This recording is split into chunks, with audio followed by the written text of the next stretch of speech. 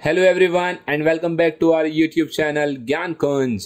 So today we have a puzzle based on linear equation in three variables. तीन चर वाले रैखिक समीकरण Solve and comment your answer.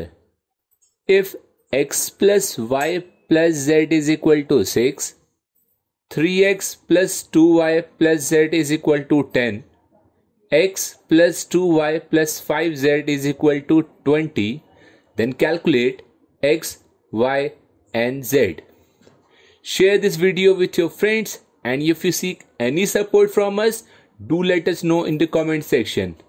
Thank you